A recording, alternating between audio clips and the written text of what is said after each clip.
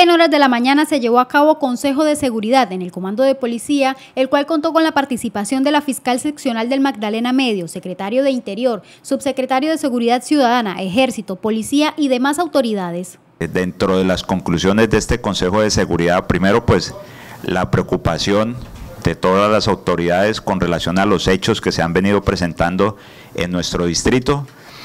Eh, se van o propusimos por parte de nuestra policía, propusimos algunas medidas de tipo administrativo que la administración municipal las asumió de muy buena manera, las van obviamente a estudiar y posteriormente eh, se darían esas medidas de tipo administrativos para aplicarlas aquí en nuestro distrito capital. El coronel Luis Alejandro Cubillos manifestó que en este consejo se aprobó la realización del cartel de los más buscados en la región. Hay otro tema muy importante que se aprobó durante el consejo, es el cartel de los más buscados.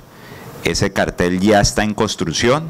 Yo creo que máximo eh, una semana o 15 días estaremos presentando el cartel de los más buscados a toda la población que indiscutiblemente eso nos va a ayudar a generar algún tipo de, de, generar que nos suministren la información por parte de estas personas que están ahí en ese cartel de los más buscados. El compromiso de seguir combatiendo a estos criminales, los estamos capturando, los estamos judicializando y lo más importante es que a través de nuestros fiscales y jueces los estamos llevando a la cárcel. Actualmente las autoridades se encuentran a la espera de que la administración distrital apruebe dichas propuestas en pro de la seguridad de los ciudadanos.